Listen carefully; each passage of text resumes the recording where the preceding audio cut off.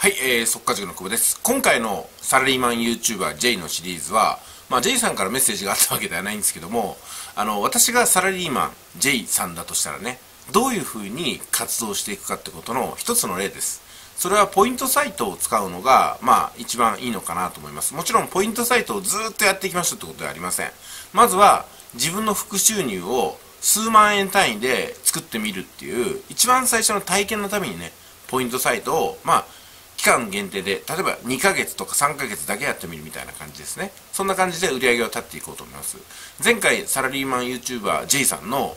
1月の実績ってものをね、ちょっとだけお話しました。ゼロではないけども、あんまり上がってないってことなんですよね。うん、だから数百円とかっていう形ではあったんですけども、ま、数千円とか数万円はとてもちょっとね、言ってなかったんですけども、私だったらこうだよっていうものをね、今回お知らせしようと思います。えー、私があ今回ポイントサイトとして採用したのは、私もやったことがないポイントサイトです。ちょっと切り替えてみますね。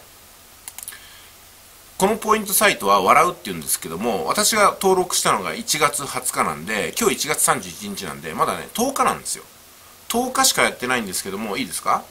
えっ、ー、と、右の方見てみますと、5400円分、5万4001ポイント。この1ポイントっていうのがね、まあなかなか魅力なんですけども、今10日間で5400円いってるわけですよね。まあ、ですんで、前回 J さんがお知らせしてくださった報酬よりもだいぶ大きいと思います。で、えっ、ー、と、この5400っていうのをどういうふうに作られてるかっていうと、この右上のメニュー行くじゃないですか。で、ポイント通帳っていうの行きますよね。そうするとここに出てます。ほら、お友達紹介がいっぱい並んでるでしょ ?1 月30日、昨日も友達紹介成功してるんですよね。26日、25日と。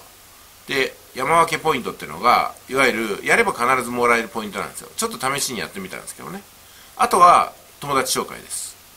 ずっと。ほら、1月20日に友達紹介を7人出して、それからこういうふうになってますよね。えっ、ー、とね、いつ友達紹介が完成するかというと、この、笑うっていうポイントサイトの使い方とか、ポイントサイトに対する私の感想みたいな動画を撮って、で、概要欄に、笑うの友達紹介の URL を置いているって形なんですよ。で、ポイント交換今できるんで、今5000円私下ろせるんですよ、もうすでにね。始めて10日しか経ってないのに5000円もうゲットしてるんで、単純にこれ1ヶ月で計算すると、私10日で5000円なんで、しかもほとんど活動やってないわけですよ。うん、これ関係の動画も5、6本しか撮ってないですからね。その5、6本の動画を撮ったっていうだけで、まだ案件こなしたわけじゃないのに、5000円なんで、それを30日って計算すると1万5000円なんですよ、もうすでにね。月収1万5000円が、もう私はこの笑うからいただけてるってことです。しかもまだ案件やってないんですよ。友達紹介だけです。笑うの動画を撮って、動画概要欄に笑うの、あのー、参加 URL ね、つけただけという。で、この動画っていうのは、笑うで検索すると出てくるんで、これからもいつの間にか誰かが登録する可能性があるってことですよね。で、そうすると、1本の動画を撮ると、再生回数とか広告料じゃなくって、笑うの紹介報酬があ取れる可能性が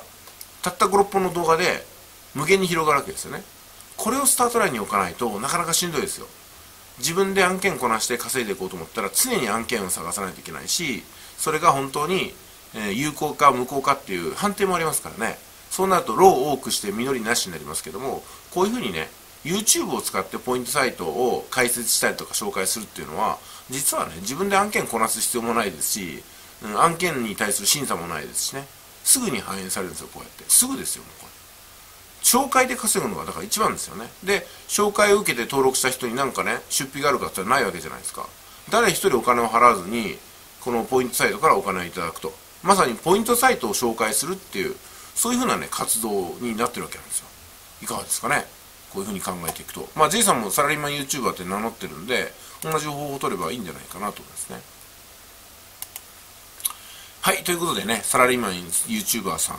んの、まあ、第一歩として、まあ、YouTube を活用して稼ぐんだったら、誰にも損をさせないようにして、ポイントサイトのアカウントを作っていただければ、お互いにウィンウィン。要するに、ポイントサイトに参加した人にもコミッションがあるわけでしょ、これ。最初から何ポイントとかって。入るわけじゃないですか。確か500ポイントとか、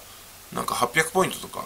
ではなかったかな。なんか500円分とか800円分とかで登録したその日にもうすでに最低支払い金額達成する方が多いと聞いてるんですけどね。ちょっともう忘れちゃいましたけどね。はい今回はそんな感じです。サラリーマン YouTuber J さんの立場になって私がやるとしたら一番最初はこのポイントサイトの紹介コードを動画概要欄につけてスタートするかなってことですよね。あとはその何このポイントサイトに関連する動画を作るたびに友達紹介の可能性が入りますからね。検索にもかかりやすいですね。えー、ということでございます。ちょっとね J さんからの動画が全然送られてこなくなってきちゃったというかすごいペースが遅いかなと、思いますんでね。これでは稼げないですね全然。あの私もこのポイントサイトをやって10日で本当にまっさらなところからスタートラインからですよ。で5000円とか稼げるわけなんで今から J さんがやってもねそれ5000円とは言わなくても1000円とか2000円とかには、うん、なるんじゃないかなと思いますよね。で1月31日です今日ね締め日にいくらになるかってことこれがビジネスをしているものとしては問われますんですごく大事になってきます。J さんでなくても皆さんにもね今回の動画は参考になったと思いますので、えーと、挑戦をお待ちしております。自分の企画をやってくれってことでしたらやりますんで。そしてねあんまりやる気がなかったら私もね無理やりやらせるつもりはないんで あのああもうちょっとやる気なくなっちゃったかな。稼ぐ気はもうしぼんじゃったかなと思ったらまあそれはそれでもしょうがないですからね。うん。私の場合はねあの100稼ぎたいといえば100なりの指導が提供できますし年収500万稼ぎたいって言えば500万なりの指導ができますけども私は指導しっかりできますけどもじゃあ指導を受けれるかどうかっていうねそちらの、まあ、熟成さんの力量がありますからね。だから無理して骨折してもいけないんで あの無理するぐらいだったら一旦休憩するかまたね、うん、今までの暮らしを続けるかじゃないかなと思いますよね、えー、どうなんでしょうかね。はいそれでは以上です。頑張ってください。